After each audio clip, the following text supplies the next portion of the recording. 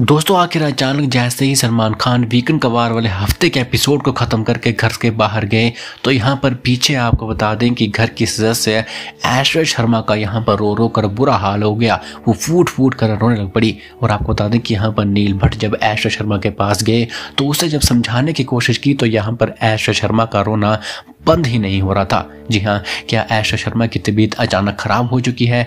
क्या उसे अब किसी से बात करने का मन नहीं कर रहा है? आखिर ऐश्वर्य शर्मा के आँखों से आँसू जो निकल रहे हैं, वो बंद क्यों नहीं हो रहे हैं? आखिर क्या हुआ है ऐशा शर्मा के साथ? चलिए पूरी पूरी जानकारी देते हैं आपको इस वीडियो में, लेकिन इससे पहले आपको बता दें कि बिग बॉस सेवनटीन से जुड़ी हुई हर लेटेस्ट और बड़ी से बड़ी अपडेट्स के लिए हमारे चैनल को ज़रूर सब्सक्राइब करें।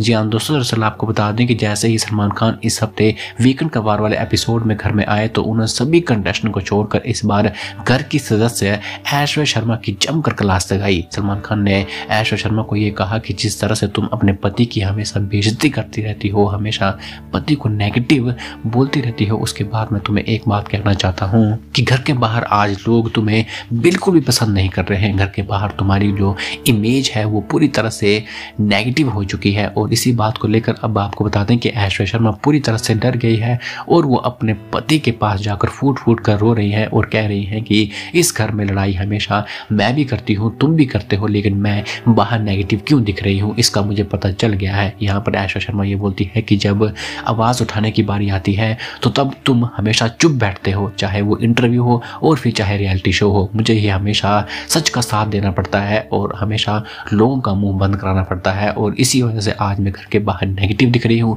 मुझे तो ये लग रहा है कि अगर मैं अपने मुँह से एक शब्द निकालूँगी तो भी आज लोग मुझे मुझसे नफरत करना शुरू कर देंगे। जिसके बाद यहाँ पर नील ने काफ़ी समझाया, लेकिन ऐशा शर्मा नहीं मानी। फ़िलहाल इस में इतना ही। बल आप इसके बारे में क्या कुछ कहना चाहेंगे? हमारे कमेंट बॉक्स में लिखें और हमारे चैनल को ज़रूर सब्सक्राइब करें।